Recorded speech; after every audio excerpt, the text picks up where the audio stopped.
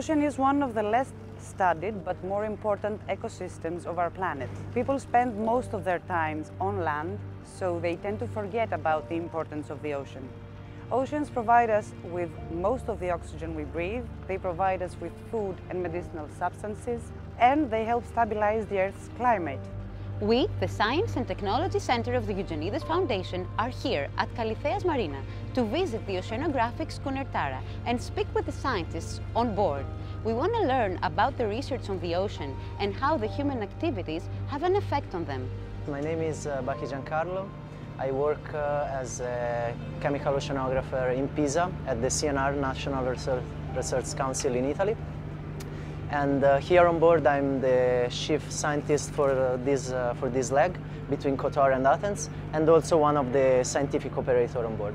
Starting from this mission, your current mission's name is TREC, Traversing European Coastlines. So what's so special about the coasts? Why do we study the coasts? In order to learn things about the ocean.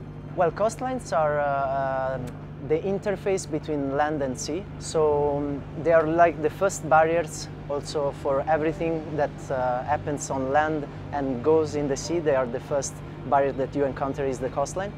And uh, billions of people are all around the world live by the coastlines and um, also they benefit from direct or indirect um, uh, ecosystem services such as, for example, uh, erosion control, like regulation of uh, water quality, regulation of, um, of the climate, so of the temperature basically, and food supply, for example. But uh, coastlines are also uh, really fragile ecosystems. So basically, it's important to study them to, and uh, to study their biodiversity in order to also to better protect them. Which human activities are the ones who have a greatest impact on marine ecosystems? Uh, well, there are several activities that have an impact.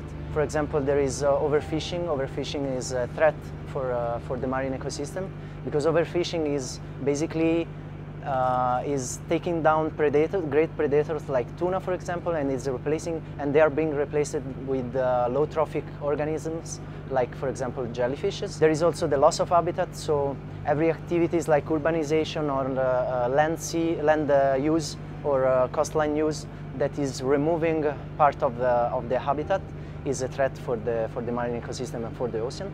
And also uh, there is the introduction of uh, alien species, so introduction of invasive species. And I think also one of uh, the major threat for the marine ecosystem. So and then another activity is uh, the pollution. So every, every human activities that release pollutants in the marine ecosystem and in the ocean.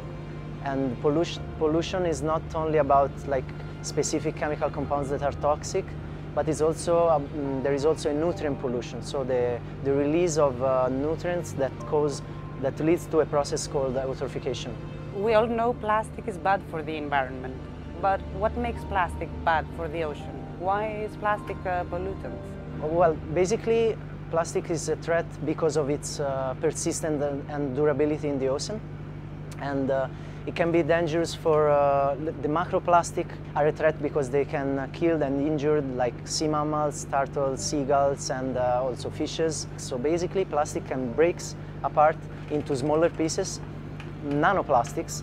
And the problem with this is that it can be eaten by plankton organisms, and uh, these affect also us and our health. Which organisms are affected the most by our activities? Basically all the organisms are, are affected by human activities. But there are some organisms that are more fragile and that are more impacted. And also there are organisms that host uh, a whole ecosystem. So basically, for example, corals and seagrass meadows. Here in the Mediterranean we have the Posidonia oceanica, basically. They are affected and they are in danger because of the climate change and uh, uh, it's not about only the loss of a species, but they host like a whole ecosystem, as I said. According to your observations and research, how has climate change affected the oceans? Uh, from my little contribution on the research field, I think that, um, well, during my PhD I studied mainly the dissolved organic matter and dissolved organic carbon in the water column, that is a huge reservoir of carbon in, uh, in the ocean, and mainly in the Mediterranean Sea. And the Mediterranean Sea, we know that as a semi-enclosed basin is becoming saltier and uh, warmer also. And this affects also the dynamic of this carbon pool with consequences to, to the marine ecosystem and to the ocean uh, global uh, carbon cycle. Okay, so we have a loss in biodiversity. Yeah, of course, of course. Basically, it's a little bit uh, complicated to explain, but also the um, uh, the increase in the, in the, duration of the mixed day, for example, in the summer because of the heat, is uh, causing some uh, like uh, imbalance in this in uh, in the dynamics of this organic matter, and and this has an effect, for example, in the um, bacterial community, and then as a cascade on the whole trophic web.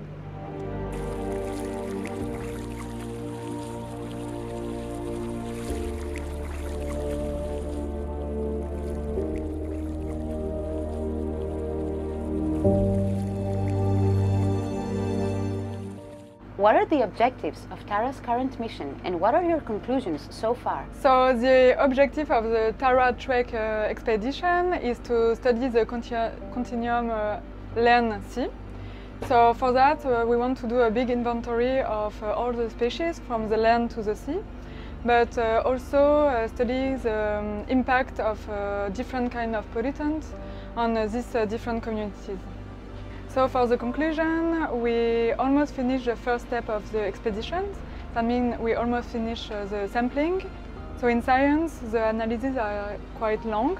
So we need to wait uh, maybe two, three years or more uh, to obtain uh, the first result. What would you advise the audience to do in order to protect the oceans? Are there things that humans do that burden the ocean but we do not consider them as threats? According to me, we should try to stop single-use plastic.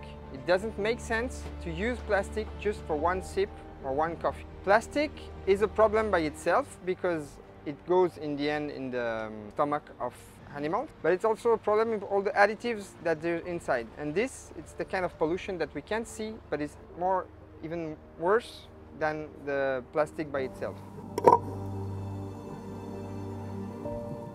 What is a day like on board of Tara? A usual day on board, we wake up quite early. The first thing we do after breakfast, of course, is that we launch the scientific instrument, which is called Rosette. It's uh, bottles we sample water. After that, uh, scientists need a few hours to process these samples. And then we tow uh, nets with various meshes.